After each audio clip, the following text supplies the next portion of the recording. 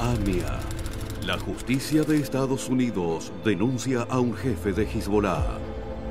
El fiscal norteamericano del Distrito Sur de Nueva York, Damian Williams, acusó de terrorismo a un oficial de alto rango de Hezbollah por su participación en la masacre de 1994 a la mutual israelita en Buenos Aires, que dejó un saldo de 85 inocentes muertos. Se trata del yihadista Samuel Salman El Reda, ciudadano líbano-colombiano que era buscado por Interpol y fue recientemente imputado en una investigación conjunta con el FBI.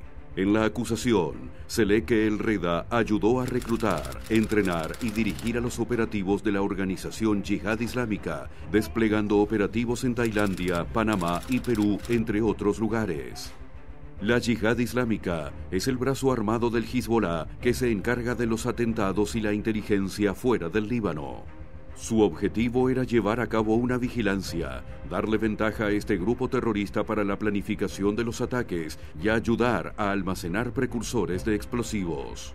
Nosotros estamos solicitando a las autoridades que, que se pueda hacer el juicio en ausencia, que en rigor de verdad tampoco conseguiremos una pena, pero lo que queremos que quede claro es la responsabilidad de las personas a las que acusamos, la cantidad de prueba que hay que los imputa como habiendo participado en los atentados. Es decir, que no es que Argentina un día dijo fue Irán, fue Hezbollah, este, se determinó de tal manera, sino que las pruebas que están reunidas en el expediente indican con absoluta claridad que fue Hezbollah, que fue financiada por Irán, que se tomó por las máximas autoridades iraníes la decisión de atacar a Argentina, es decir, que los elementos de pruebas que realmente son contundentes. Tras la decisión del fiscal, la Asociación Mutual Israelita Argentina emitió un comunicado en el que se mostró conforme con la acusación y reafirmó el compromiso de seguir luchando hasta lograr que se haga justicia luego de 30 años de incertidumbre.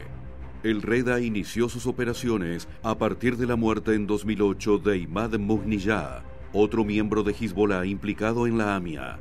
Desde Colombia comenzó a mantener lazos con Mohsen Rabani, clérigo chiita y diplomático iraní en Buenos Aires. Rabani también figura entre los funcionarios iraníes que son buscados por la justicia argentina por su participación en el atentado.